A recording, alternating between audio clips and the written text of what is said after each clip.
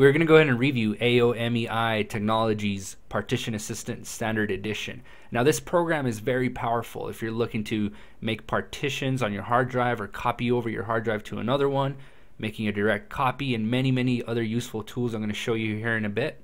Now this is the website here. This is their website here where you can download it. I will post a link on the description of the video for this web page so you can download it. Now the standard edition that we're looking at, this one is free all you got to do is click on the download on the green download button here. It'll take you to this page. And here you can go ahead and um, compare what the free one has compared to the uh, the upgrade the professional and the server edition. But let's go ahead and review the freeware one. I'm going to click on the download freeware and then you click one more time here. It's going to take you to CNET here and you got to click one more time where it says download and it will download the uh, program once you download and install it, this is what it looks like here. It's a very easy to use program. I like the way they laid it out. I like I love the shortcuts they have here on the left left hand side. They have wizards and they have disk operations. But on the very top, you can uh, let's, let's start from the top here. So in the top tabs up here on system, you can reload disk or you can hit F5 to reload. And you can also reload here. Let's say you just happen to plug in an external drive, you can just hit the reload button here and it'll reload and pick it up. Under the disk, you can uh, copy disk, wipe a hard disk, hard drive. Uh, you can do a surface test, which is really, really cool. I'll show you guys this here in a bit. You can rebuild the MBR on the hard drive. You can delete partitions or delete all partitions, convert MBR GPT, and you can look at the properties of the current disk you have selected. Also, there is uh, once you select a disk, you should be able to um, go to partition up here. You can resize the partition, split, copy, create. You can delete, format, change the label, wipe partition. They have so many, so many tools, and most of these uh, tools are listed here on the site already. And you can change the language here where it says settings, or you can go to help. And let's see what if you go to about, you'll see what version you have. 5.6.3 is the one we're reviewing right now, and also they have tutorials. You can click you can click on this tutorial button. It'll take you to their website. And from here you can look at all the tutorials here like change partition size copy disk and partition because this program can be confusing if you're a beginner and um, you don't know what partitioning is or you know what an MBR is and all that. You can go to the tutorials. There's an upgrade button also. You can send them feedback. And they also have a free backup software which I will make I will make a review on this um, AOMEI back backupper standard. So uh, at the end of the video, there will be a link. You guys, you guys can check this out also. All right, guys. So let's look at the wizards here. You can extend a partition. They have that wizard.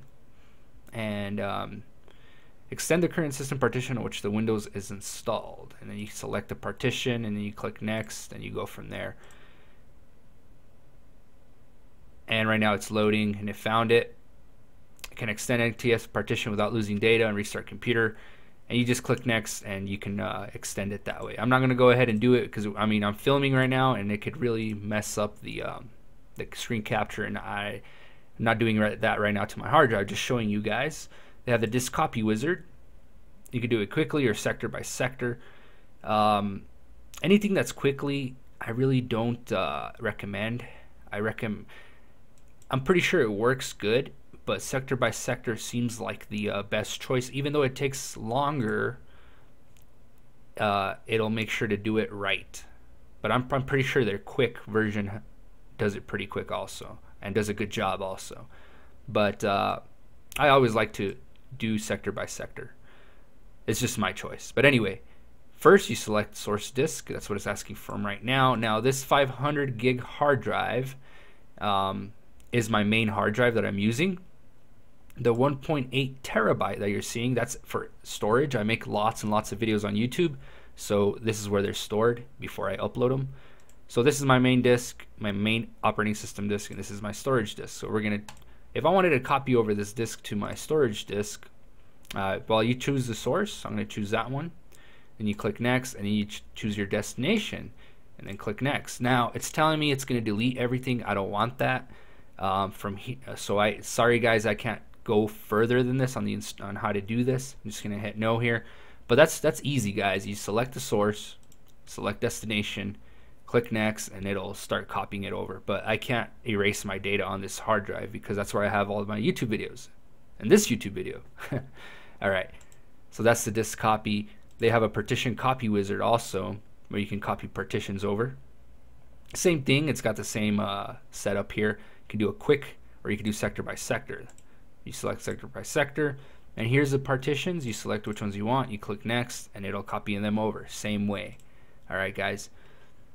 And then let's take a look at migrate OS to SSD. If you have a solid SSD stands for solid state drive. It's the new drives that don't spin. It's just like a giant flash drive in a way.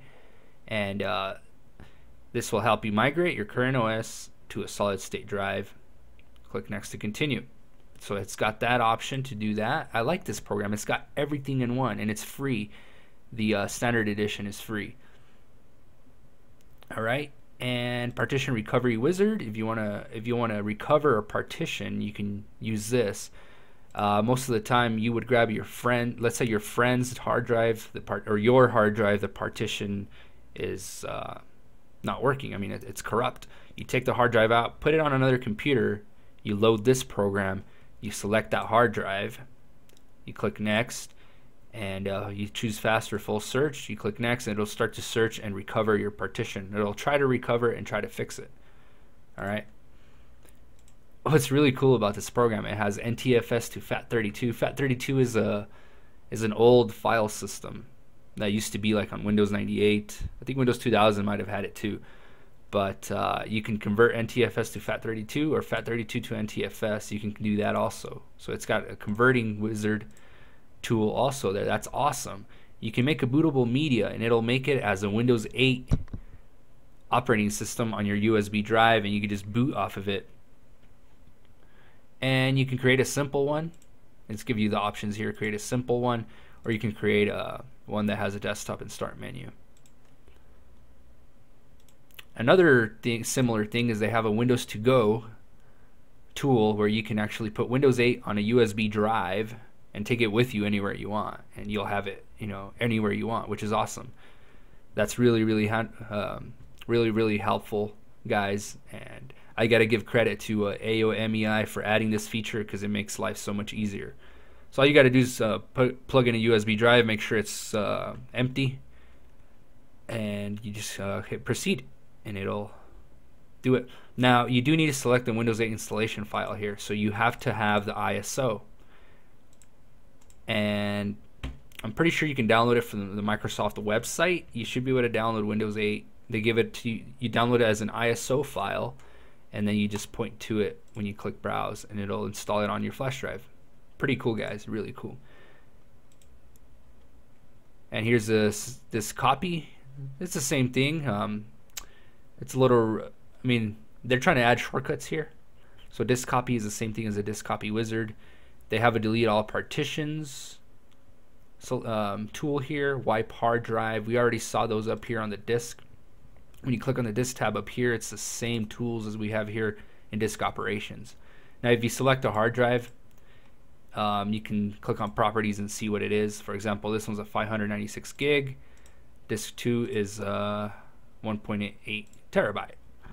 Now, one thing I really like about this program is the disk surface test. You can do a quick check or you can do a full check. But I've already done a quick check on this hard drive here. But when you click start, it'll start searching as so right there.